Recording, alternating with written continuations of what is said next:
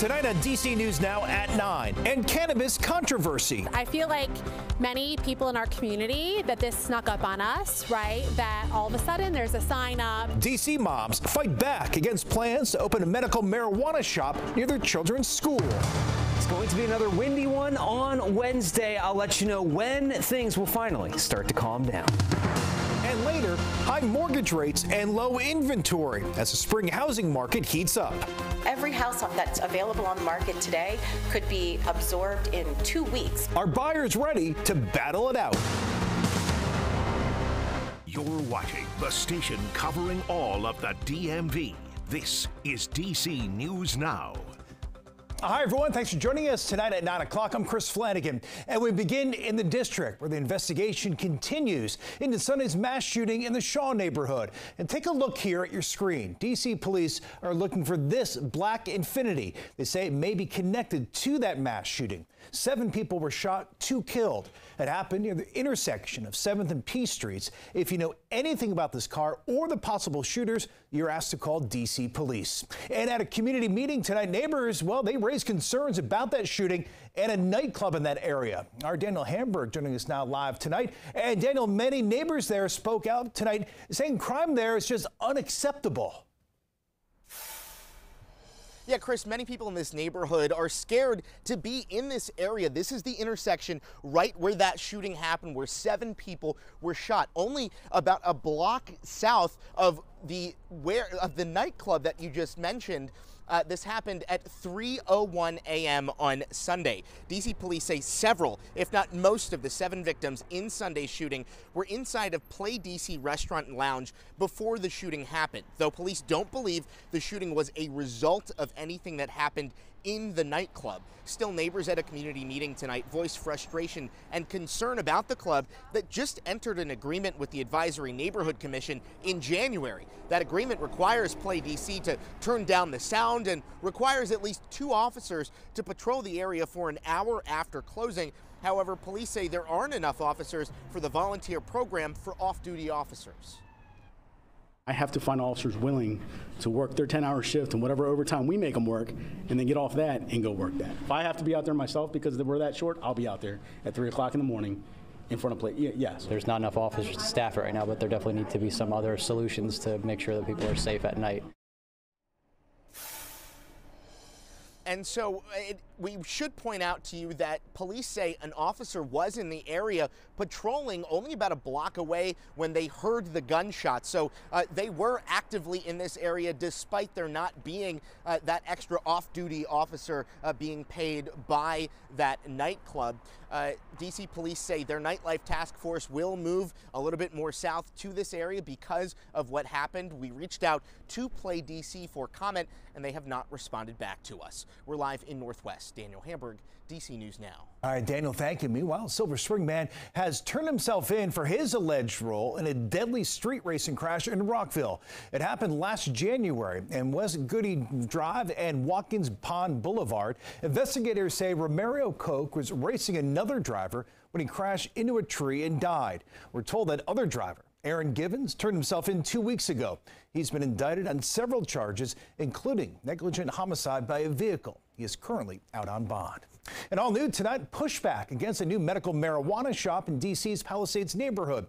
A group of moms filing a letter of protest this week, hoping to put a stop to that new shop. Our reporter Mario Carbone live tonight from Palisades. And Mario, uh, those moms, they're really pushing back pretty hard.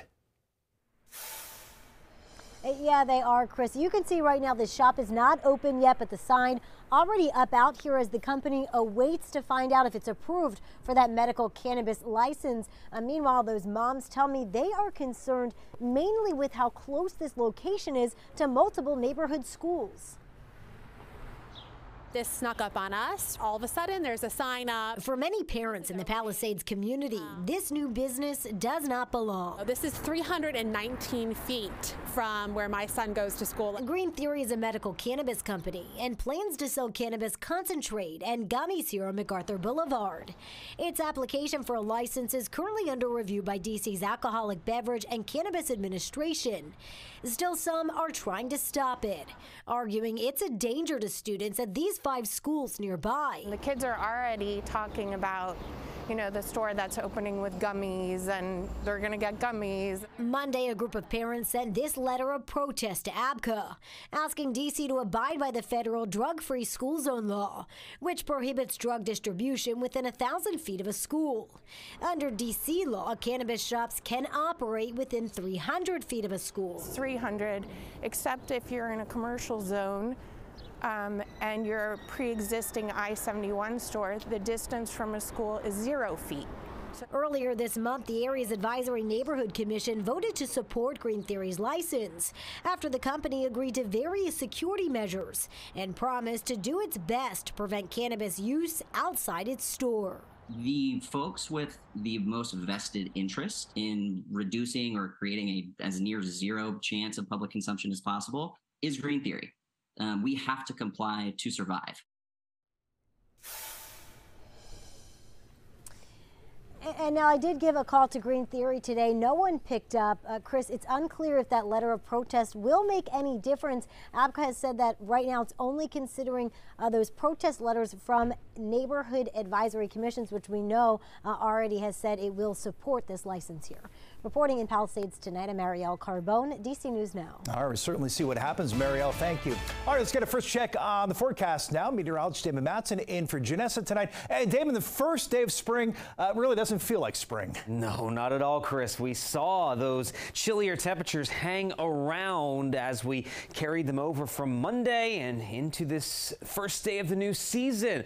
We didn't see much improvement in that regard. You needed a jacket out there. High temperatures only reached into the upper 40s to the west and then closer to D.C., southern Maryland, the I 95 corridor.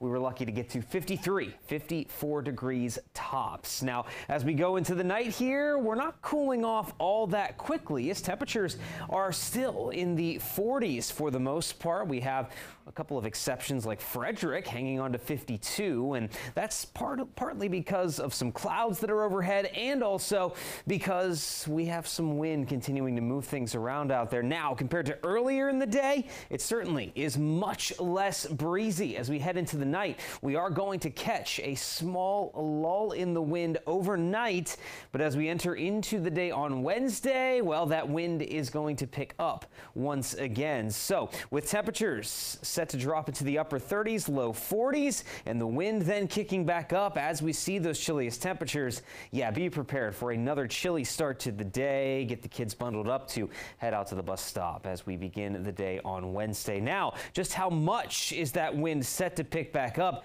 as we go throughout the day then tomorrow? We'll have a full look at your forecast coming up here in just a bit. All right, Damon, thanks. Well, in Virginia, sitting in Governor Glenn Youngkin's desk tonight, it's a final version of a bill that could bring back skill games to the Commonwealth. There are those slot-like gaming machines you often see in gas stations. If signed by Youngkin, skill games would face stricter regulations than before, like capping how many games a business can have and enforcing age limit. Receipts from the machines would also be taxed at 25 percent. Well, the Howard University men's basketball team took on Wagner College tonight in the first round of the NCAA tournament. Howard students who didn't travel to the game, well, they got to catch all the action from a watch party here in D.C. It's very inspiring also to see them make it to the tournament two years in a row after be, after ending a 16-year drought. All right, certainly a great game out there in Dayton, Ohio. Sports Director Derek Forrest here. And Derek, boy, what a wild finish. Oh, yeah, this one came down to the wire, and the way it started, we didn't think we were going to get here. For the second year in a row, the Howard Bison found themselves in the NCAA tournament. Tuesday, they had a matchup with Wagner to get to the round of 64 later in the week in Charlotte. And at one point in the game, Howard found themselves down by 17.